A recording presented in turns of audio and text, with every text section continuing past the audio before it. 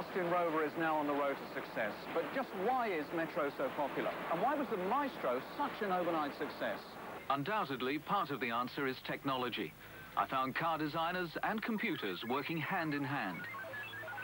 Massive machines creating body shells with pinpoint accuracy, along with one of Europe's most modern robot production lines that not only builds the cars, but tests them as well. This robot sniffer is checking that there are no leaks. Technology also helps develop the cars. This anechoic chamber is devoted to reducing engine and road noise.